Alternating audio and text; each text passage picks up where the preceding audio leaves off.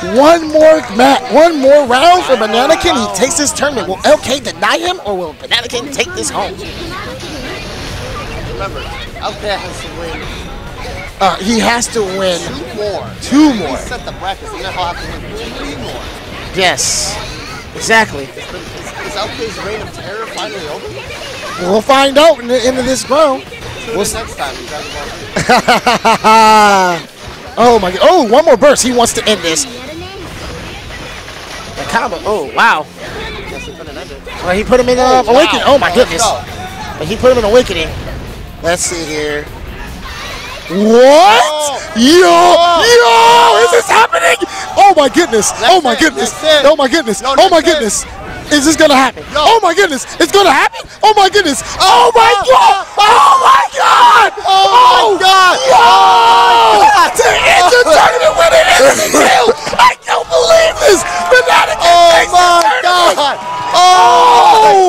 Oh my god! Ah! Oh my god! Talk about a way to end the tournament!